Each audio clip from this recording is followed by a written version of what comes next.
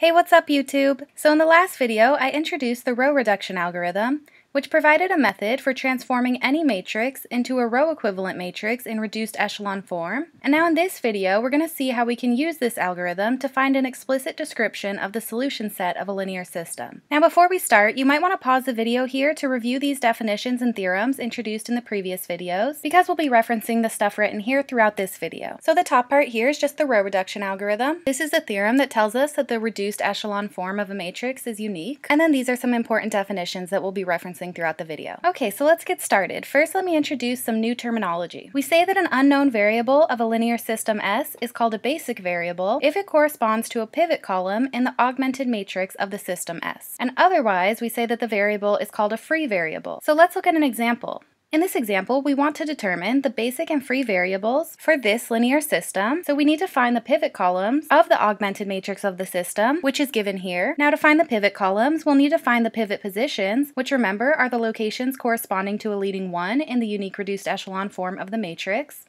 And so we can find these pivot positions by working through the row reduction algorithm. So first, since we have that this column is non-zero, we know that our first pivot position will be located at the top of this column. And now let's just select this one that's already in the pivot position to be our pivot, and then we'll use this one to create zeros in the two spots below it. So first, to make this a zero, We'll replace the second row with the sum of itself and negative 3 times the first row. Then we'll get a new matrix with this new row 2. Next, to make this a 0, we'll replace the third row with the sum of itself and negative 2 times the first row. And that will give us a new matrix with this new row 3. So we end up with this matrix in echelon form. And now from here, we could continue row reducing this matrix until we end up with the reduced echelon form. But for the purpose of finding the pivot positions, an echelon form is sufficient. Because if A is a matrix in echelon form with R non-zero rows, rows, then we know that A will have R pivot positions, where the pivot positions in A are precisely the locations in A that correspond to a leading entry of a non-zero row. And this is true because of the general form of an echelon matrix. To see what I mean, consider an echelon matrix, like the one shown here, where the squares represent the non-zero values, the leading entry of each non-zero row, and the stars are just arbitrary real numbers. Now we can always use the scaling and replacement row operations to make each leading entry equal to 1 and to make it the only non-zero entry in its column. And doing that that would give us the reduced echelon matrix of this form, where now we can see that the pivot positions are located in this position, this position, and this position. And now you can see that these are the same three positions that the squares were in over here in our echelon matrix. So you can see that we don't need the reduced echelon form of a matrix to find its pivot positions. We only need an echelon form of the matrix. So back to our example, since these are the three leading entries for each of our three non-zero rows, we get that these are our three pivot positions. And so the first, third, and fifth columns are the three pivot columns columns. Now the unknown variables that correspond to the pivot columns are x sub 1 for the first column, x sub 3 for the third column, and x sub 5 for the fifth column. So x sub 1, x sub 3, and x sub 5 are the three basic variables of this system. Now the other variables that are left are x sub 2 and x sub 4. So these are our two free variables of the system. And with this we're done because we've determined the basic and free variables. Now that we've seen an example,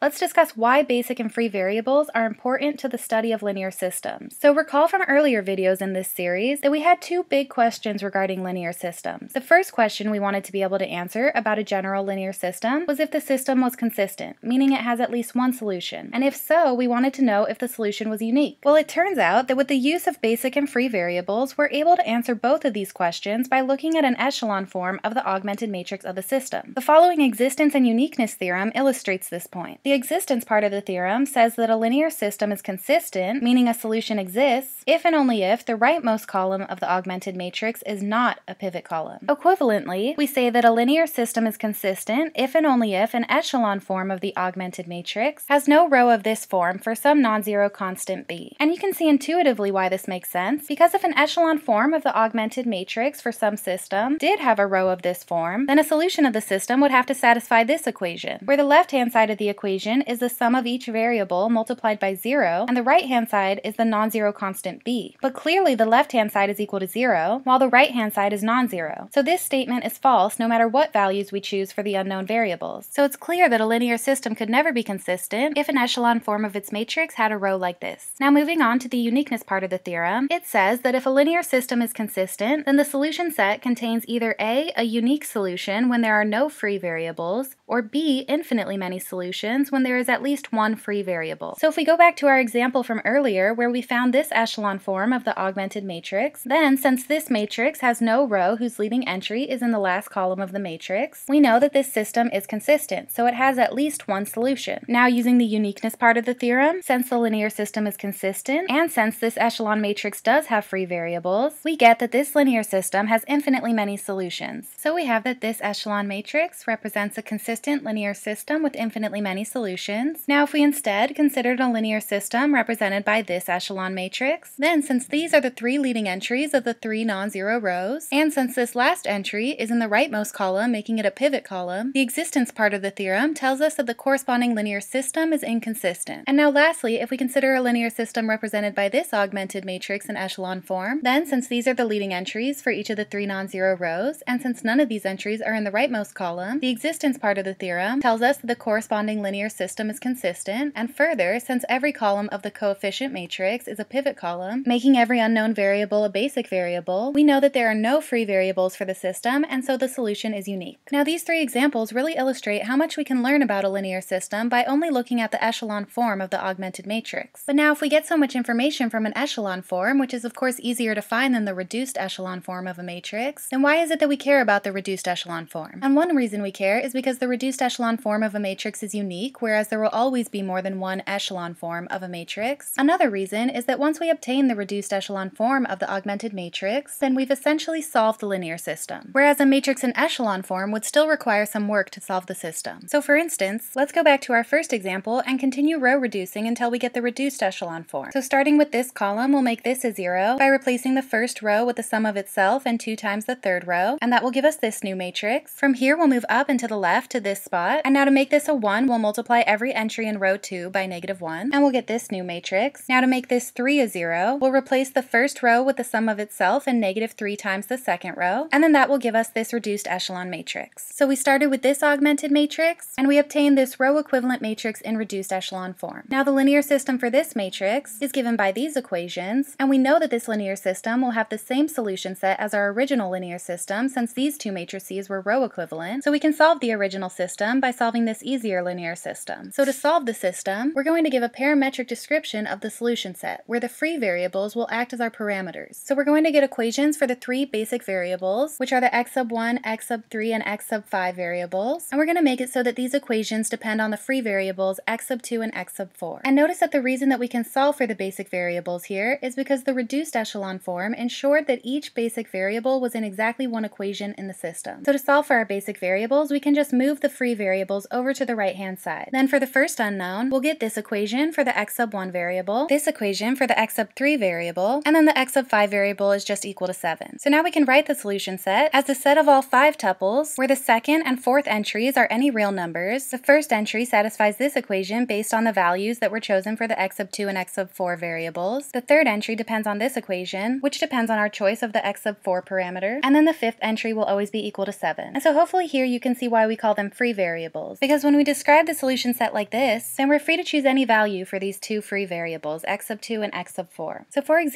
suppose that we chose 6 to be the value for the x sub 2 parameter and 0 to be the value for the x sub 4 parameter, then the values for the other entries will be determined by these two choices. So the first entry will be 40 minus 6 times 6, which is equal to 4. The value for the third entry will be negative 10 minus 0, which is just negative 10. And then the fifth entry is just equal to 7 like always. So this 5 tuple is a solution to our linear system. And we can verify this by plugging these values into our linear system. So if we plug in these values to the left-hand side of each equation, we'll get these three expressions, and then when we sum the terms in each expression, we'll see that the first expression is equal to negative 4, the next one is equal to negative 2, and the last one is equal to negative 1. And since these are the values from the right-hand side of our three equations, we have confirmed that this 5 tuple makes each equation of the system true, and so it is one out of infinitely many solutions to the system. Now let me point out that anytime a system is consistent and has at least one free variable, the system will have infinitely many solutions, and there will be multiple parametric descriptions for the solution set. So even though we chose to describe it using the free variables as the parameters, this is not the only way to do it. For instance, we could take the x sub 1 and x sub 4 variables to be our parameters, then using the first equation here, we can solve for x sub 2 in terms of x sub 1 and x sub 4, and we would get this equation for the second entry, where this equation is now in terms of our x sub 1 and x sub 4 parameters. Now for the third entry, since this equation only relies on the x sub 4 parameter, the equation for the third entry will remain the same, and then the fifth entry was just a constant, so that will stay the same as well. So we get this different parametric representation for the solution set. And both of these describe the same solution set, they're just written in different ways. And we usually just adopt the standard notation, which is to write the parametric description in terms of the free variables. So now that we've shown how to find the solution set for this linear system, let's generalize this process so that we can find the solution set for any linear system. So here we've outlined a step-by-step -step procedure that we can use to find the solution set for any linear system. The first thing we do is write down the augmented matrix of the system. Next, we use the first four steps of the row reduction algorithm to obtain an echelon form of the augmented matrix. After that, we use the existence part of the existence and uniqueness theorem to determine if the system is consistent. If it's inconsistent, we stop there because we know the solution set is empty. If it is consistent, then we can proceed to the next step, which says to continue the row reduction algorithm to obtain the reduced echelon form of the matrix. Once we have the reduced echelon form, we can write the corresponding system of equations, and then we can rewrite each non-zero equation in the system so that the one basic variable in each equation is expressed in terms of any free variables appearing in the equation. Then once we do this, we'll have the expressions needed to write the solution set. And now with this, I think this is a good stopping point, but before I end the video, I'll leave you with this summary of some of the big things we talked about in this video, so feel free to pause the video here to review this. But that's all I have for now, so I'm going to end the video here. Thanks for watching, and I'll see you next time.